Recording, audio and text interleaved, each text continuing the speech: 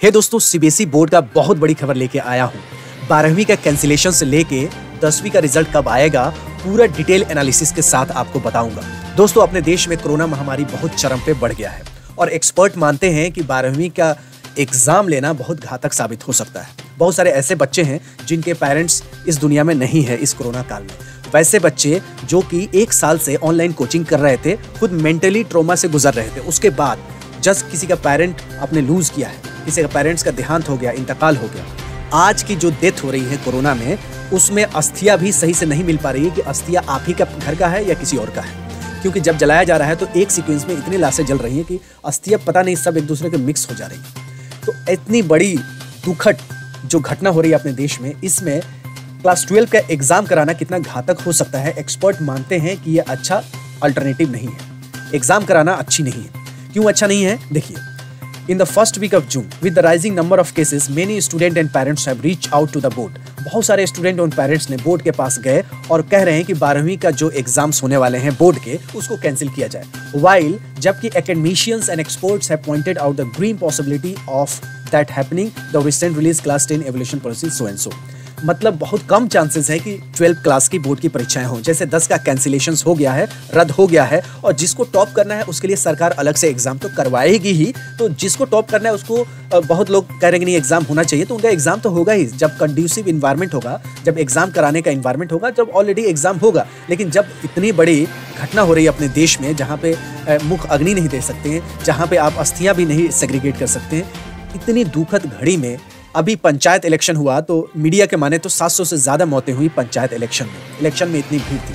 तो इलेक्शंस करवाना, जबकि उसमें बहुत मैच्योर्ड लोग आते हैं, लेकिन जो दसवीं, बारहवीं में स्टूडेंट आते हैं मैच्योर्ड नहीं होते। इनका इतनी परहेज की चीज़ें नहीं पता है। फिर भी एक दूसरे दोस्त से मिलेंगे, गले मिलेंगे, चीज़ें होंगी, फिर ये पेरेंट्स के पास जाएँगे। पेरेंट्स को भी दिक्कतें हो सकती हैं अगर बच्चों का नहीं हो तो। लेकिन इस कोरोना महामारी में जो इस साल आया है, नया स्ट्रेन आया इसमें जवान बच्चे भी मौत के घाट उतार दिए जा रहे हैं कोरोना के द्वारा। तो इस केस में एग्ज़ाम कराना बिल्कुल सही नहीं होगा। एक्सपर्ट कह रहे हैं कि जैसे दसवीं का अल्टरनेटिव असेसमेंट हो रहा है, उसी तरह बारहवीं का भी हो और उसी तरह इनका भी रिज़ल्ट निकाला जाए।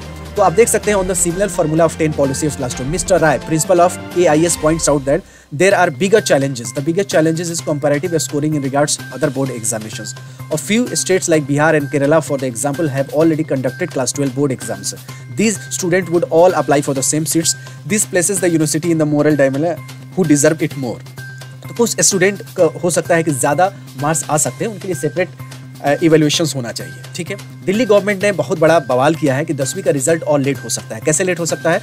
लेट होने की जो बहुत ज़्यादा प्रोबेबिलिटी है कि एजुकेशन डिपार्टमेंट जो दिल्ली के हैं, उन्होंने लिखा है नेशनल बोर्ड को कि आप गवर्नमेंट स्कूल को बहुत कम समय दिए हैं रिज़ल्ट प्रिपेयर करने के लिए। कब तक दिया गया है? पाँच जून तक, पाँच जून तक जितने भी स्कूल्स हैं, बोला गया है कि आप इंटरनल असेसमेंट करके आप बच्चों का मार्क्स भेज दें किसको? बोर्ड को।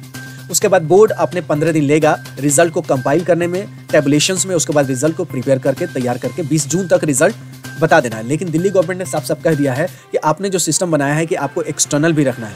क्या करना है? एक्सटर्नल भी लोगों को रखना है। इंटरनल असेसमेंट होगा और एक्सटर्नल भी एक्सटर्नल बॉडीज टीचर्स आएँगे। तो ऐसे कंडीशंस में हम कैसे काम कर सकते हैं जब आप लोगों ने गाइडलाइंस दी है कि कम लोगों को ही बुलाना है? तो दिल्ली गवर्नमेंट ने साफ़ साफ़ कह दिया है कि हमें और टाइम चाहिए। तो अगर दिल्ली गवर्नमेंट टाइम लेती है तो रिज़ल्ट प्रिपेयर होने में और समय लग सकता है। तो दसवीं का रिज़ल्ट और 20 जून ना होकर और आगे टल सकती है। अब सरकार को देखना है क्या करना है, क्योंकि दिल्ली में बहुत बुरा हाल है, बहुत बुरा हाल है।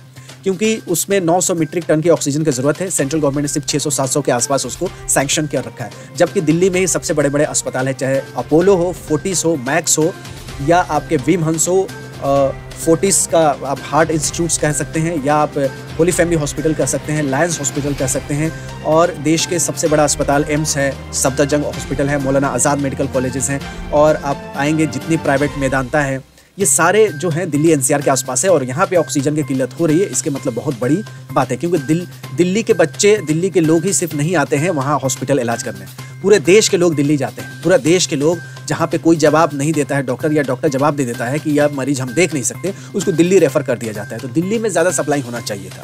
लेकिन कम हुआ, वहाँ पे दिल्ली गवर्नमेंट तो बोलेगा ही कि हमें और समय चाहिए। और बारहवीं की बात करें तो बारहवीं का एक्सपर्ट कह रहे हैं कि अल्टरनेट असेसमेंट से ट्वेल्थ क्लास को भी पास कर देना चाहिए। दोस्तों, आपको क्या लगता है कि बारहवीं का कैंसिल होना चाहिए? क्योंकि स्टूडेंट इतना मेहनत किए थे तो दसवीं का कैंसिल हुआ था। और एक दिन एक मिलियन से भी ज़्यादा बारहवीं क्लास का ट्वीट्स आ गए थे कैंसिलेशन के लिए। मुझे उम्मीद है कि आप लोग भी मेरे जो सब्सक्राइबर देख रहे होंगे, ज़्यादातर फेवर होंगे कि एग्ज़ाम कैंसिल हो, चाहे यूपी बोर्ड का एग्जामिनेशन हो या कोई और स्टेट्स का भी बाकी है, उसका भी कैंसिलेशन हो।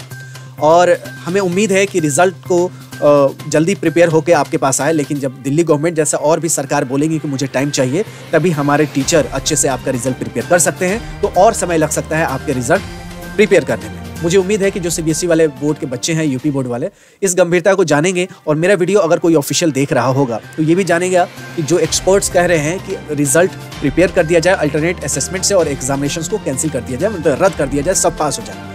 तो इसको देख के कुछ ना डिसीज़न पॉजिटिव होना चाहिए। तो दोस्तों, आप क्या कहना चाहते हैं? कमेंट बॉक्स खुला हुआ आप ज़रूर बताएँ। मैं आपके साथ हूँ, आप लोग जो चाहेंगे वही मैं करूँगा, क्योंकि ये आप ही का चैनल है। मिलते हैं फिर अगली वीडियो में, अगले अपडेट्स में, तब तक you take good care of yourself Jai Hind, Jai Bharat.